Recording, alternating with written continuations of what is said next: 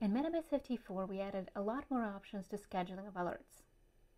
Remember that an alert and a question is sent when a condition is satisfied, like a line crosses a goal or a question that usually returns nothing ends up returning a result. So, now you can tell Metabase to check that condition by the minute, like every 10 minutes, every 5 minutes, or even every single minute. Just make sure that your condition is an actual rare event that happens only infrequently, so you don't get emails sent to you every single minute.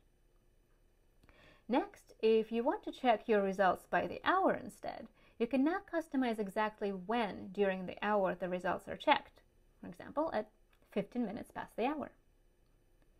And finally, my favorite, you can now use cron syntax to define much more complicated alert schedules. For example, I'm going to schedule an alert to check my question at 11:59 p.m. every December 31st, just before New Year's.